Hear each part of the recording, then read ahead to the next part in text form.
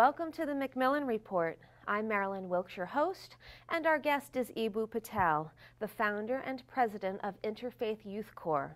He is at Yale to give the Coca Cola World Fund lecture at the Macmillan Center. Named by U.S. News and World Report as one of America's best leaders of 2009, Mr. Patel is the author of the book Sacred Ground Pluralism, Prejudice, and the Promise of America and his 2007 autobiography, Acts of Faith The Story of an American Muslim The Struggle for the Soul of a Generation. He is also a member of President Obama's Advisory Council of the White House Office of Faith Based and Neighborhood Partnerships. Today we talk with Mr. Patel about his new book, Sacred Ground. Welcome. Great to be with you, Marilyn. Thank you. Let's begin with the organization you founded, Interfaith Youth Core. Tell us about it and why you felt it was important to found it. Sure. So, the idea for Interfaith Youth Core hit me probably 15 years ago. Uh, I was a college student in the early to mid 1990s at mm-hmm. a time when the multicultural movement was at an inflection point and service learning was a big deal on college campuses also. And there were a lot of projects and organizations that were bringing people of different racial and ethnic backgrounds together to do service. Okay. Teach for America, City Year, and it kind of occurred to me as I was deepening into my, mo- uh, my own Muslim identity at the time, and as I was uh, uh, studying other religions and their calls to serve others, why, why not bring Hindus and humanists, Muslims and Buddhists, uh, Jews and Catholics together to do service. Mm-hmm. All of our religions call us to serve others. Service is a great way of bringing people from different backgrounds together in a common project. So that was the the I guess the original animating idea of Interfaith Youth Core, mm-hmm. and it's since grown into uh, a really ambitious organization and movement. And the kind of generational goal of Interfaith Youth Core is to help make social uh, to help make interfaith cooperation a social norm okay. in the way that human rights or that uh, volunteerism or that civil rights are social norms.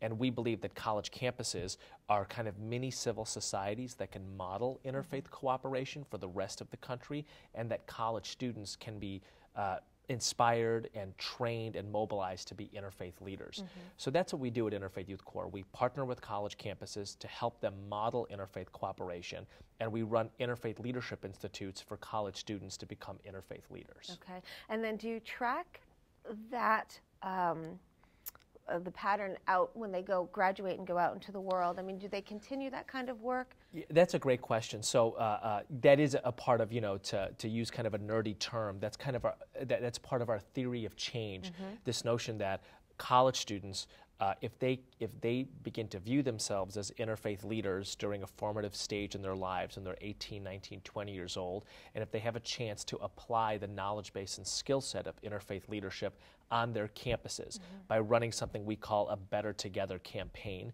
that that's the the their first steps towards leading a life of interfaith leadership. Mm-hmm. And we have a, a, really robust alumni program at Interfaith Youth Core that helps college students do everything from go on to divinity school to study uh, uh, world religions and interfaith leadership, or to go on to be doctors, lawyers, uh, hedge fund managers, Washington, D.C. types who will take the perspective of interfaith leadership into whatever vocation or career path they mm-hmm. choose.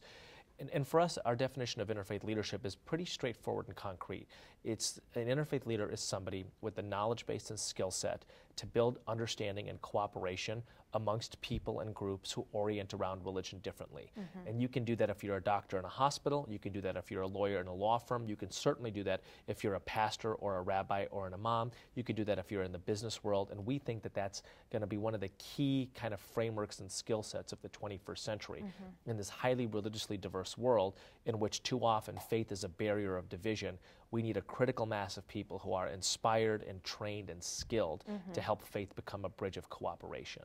And can you give me some examples of specifically how the bridges are built and how people go about working together? That's a great question. Thank you for that. So, uh, this goes back to kind of the, the original animating idea behind Interfaith Youth Core, which is that service is something that all of our faith traditions and secular traditions call us to do, mm-hmm. and service is a great con- common table for people to gather around. So what we what we train students to do in our interfaith leadership institutes is run interfaith service and dialogue projects. And I'll give you a, a great example from mm-hmm. my alma mater, the University of Illinois. So uh, the the Better Together group, and that's what the, these groups tend to be called at campuses across the country. The Better Together or Interfaith and Action Group at, inter, at, at the University of Illinois would have kind of monthly interfaith dialogue meetings of their group, and then every year they would run something called the Interfaith in Action Day. Mm-hmm. And for several years, it was modest in size, like 100 to 150 students, and a handful of campus administrators would show up, and you know, kind of was getting a, a start like a lot of student groups do. Mm-hmm. And then a couple years ago, there was that terrible earthquake in Haiti and the leadership of that Better Together group at, at University of Illinois decided that, that they wanted to do something really big and significant to help folks who were suffering from that earthquake. And mm-hmm. so they organized this huge interfaith service campaign and project in the University of Illinois campus and community that brought over 5,000 people from different religious and secular communities together mm-hmm. to package wow. over a million meals for people who suffered from the earthquake in Haiti. That's amazing. Uh, it, it, it, it, you know, it improved lives there in a very concrete way. They sure. got a major federal grant to do it.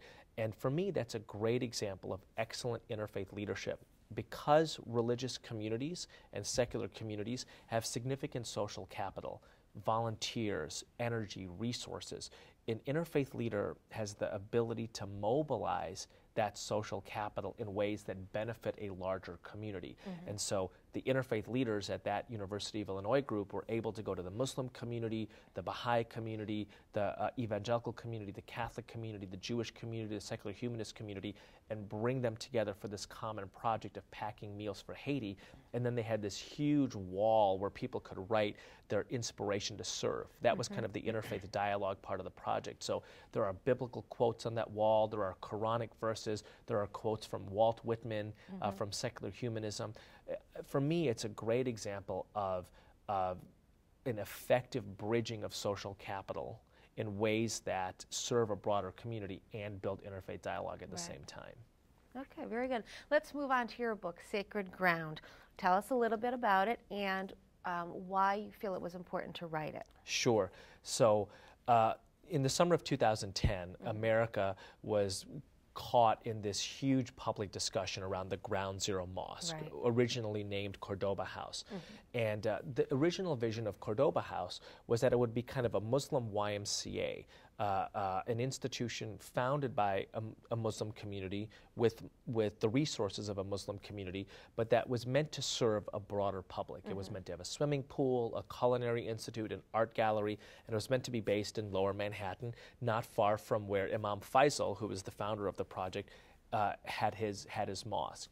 And um, uh, you'll remember that uh, there was this huge public discussion around this center, mm-hmm. and uh, it was it, it, came to be called a terrorist command center, and Imam Faisal was called a radical imam. And I remember watching those news reports and reading the papers and, and thinking that I'd entered the twilight zone. I mean, I've known Imam Faisal for 10 years. Um, I knew about the plans for Cordoba House when they were just being launched, and, and I, I thought that this was actually uh, a part of of the Muslim process of, of deeply integrating in America in the sense that our community was building an institution whose primary purpose was not to serve our own prayer needs, but was to serve a broader public's more community or social mm-hmm. needs. And so during that during that time, I started going back in American history and looking at kind of the patterns of religious prejudice and religious pluralism in America. And one of the things that I discovered was that uh, I, I, think across American history, there's been this dynamic of what I call the forces of prejudice, the forces that say to some communities at different times in history, you don't belong, right? Uh, the anti Catholic forces during earlier eras, the anti Semitic forces, clearly the racist forces in earlier eras of, of, of American history, mm-hmm. saying, you don't belong. And then the forces of pluralism, the forces saying actually the idea of America is that we're a nation that welcomes the contributions of all communities and nurtures cooperation between them, those forces push back. And those forces have won era after era after era. Mm-hmm. And I kind of realize, you know, we're in a new chapter of that narrative, of the, the great narrative of American pluralism versus American prejudice. And what this book is, is it's kind of a, a tracing of that of that story across American history, mm-hmm. and a, kind of an explication of, of the chapter we're in right now. And it's a call to the forces of pluralism of our era to stand up and engage and defeat the forces of prejudice, whether it's anti Muslim forces or anti Mormon forces or anti atheist forces. It is incumbent upon us as Americans, I think, to recognize the precious treasure of, of pluralism and our nation's history, but to know that, that it has to be protected. Mm-hmm. And, and, and that's, what, that's what Sacred Ground is about. Don't you? Um, I think part of the problem is the prejudice. How do you get beyond that? How do you fix that? So our, our solution at Interfaith Youth Core is to is to first of all illuminate the story of American pluralism. Uh, I'll tell you one one of my favorite parts of this. Uh, um, when George Washington first became president, uh, he received a message from a Jewish leader named Moses Seixas, effectively asking whether his people, Jews, would be safe in this new nation. And Washington wrote back a beautiful a beautiful document called The Letter to the Hebrew Congregation of Newport, Rhode Island, which said that America would give bigotry no sanction and persecution no assistance. Mm-hmm. That's knowing the great heritage of pluralism in America. And I think one of the, one of the ways that, that the forces of, of pluralism in our era gain strength is to know the heritage and the legacy of pluralism in this mm-hmm. nation and to have a sense that we're writing the next chapter in a glorious story the skills of interfaith leadership are really important as well. And I talked about this a bit in the Coca Cola lecture I gave yesterday. Having an appreciative knowledge of other religious traditions, mm-hmm. knowing about the social gospel in Christianity, knowing about uh, the, the role of mercy in Islam, we live in the most religiously diverse nation in human history. We ought to know something appreciative about the various religious communities of our nation, mm-hmm. how they've contributed to, to the growth and success of America, um, how their values uh, from Jainism or Buddhism are similar to values in Catholicism or Judaism. Uh, it's, it's, it's something we at Interfaith Youth Core call interfaith literacy, and I think it's a key part of being an effective interfaith mm-hmm. leader. Okay. I think it's probably, um, you know, there are some religions and some people who, uh, um, you know, believers who naturally will work together, but how do you handle people who who are religious but are just so filled with hate for another form of religion. How do you break that down and deal with that? Yeah, I think that's a great question. Uh, so, in 15 years of doing this work and, and being in all sorts of communities, I've come to believe that, that the percentage of people who, who hate somebody from another religion is pretty small, mm-hmm. especially in America, right? My sense is, if you want to think of this as a continuum, there's a, a on, there's there's a, a, huge chunk of the continuum that inclines in a really proactive way towards being interfaith leaders. And then there's probably the largest part of the continuum that's relatively neutral or doesn't think about this very often, but certainly isn't opposed to it. And then, and then the, the part of the continuum that is opposed to it is relatively small.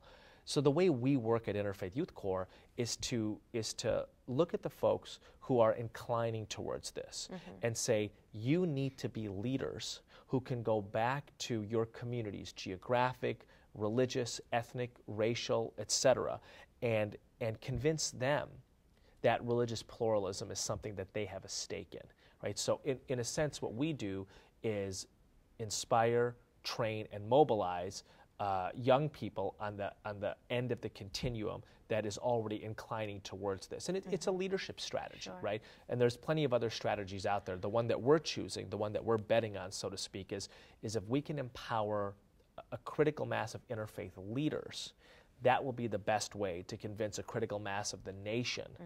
that protecting the precious treasure of religious pluralism is something we ought to be doing. Right, right. And especially, I think it's important to, they're starting as the, they're young people, and as they grow, it, I think it will only help the future of the country. That's right. You know, so, so they'll have, you know, God willing, 50, 60, 70, 80 years right. to, to be advocates and leaders in protecting pluralism. Right. So if there is one thing that you would like to leave us with today, what would it be? What's the most important thing you think we should take away from our talk today? I think it's that all of us need to be interfaith leaders. Mm-hmm. All of us need to recognize just how important America's legacy of pluralism is. It is a remarkable thing that we live in a nation whose very idea is to welcome the contributions of various communities and nurture cooperation between them. Mm-hmm. But that idea didn't fall from the sky in the past, and it, it's not inevitable that it remains the beating heart of America. Right. We need a set of people with the inspiration, the knowledge base, and the skill set to protect that idea. And what that means is that we are able to build bridges between individuals and communities who orient around religion differently. And there's no more, more important time than now. America being the most religiously diverse nation in human history, the most religiously devout nation in the West at this time of global religious conflict. And uh, I think about the, the line from the Parliament of the World's Religions in 1893 in Chicago, and I think this is a, a kind of the mission statement of, of this movement mm-hmm. is, is from now on, the great religions of the world make war no longer on each other and instead on the giant ills that afflict humankind. Sounds wonderful. Thank you very much for being here with us today and sharing some of your work. Thank you, Marilyn. For more information about Mr. Patel, please visit our website at yale.edu slash Macmillan Report. Be sure to join us again for another episode of the Macmillan Report, made possible through funding from the Whitney and Betty Macmillan Center for International and Area Studies at Yale.